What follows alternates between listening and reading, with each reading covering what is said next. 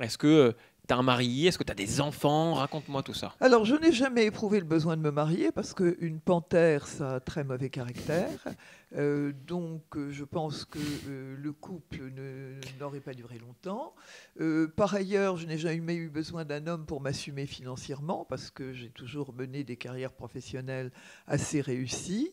donc, j'ai eu des passions, des histoires d'amour, c'est de ce côté-là, j'ai vécu. Et je n'ai pas souhaité avoir d'enfants et je ne le ah regrette pas.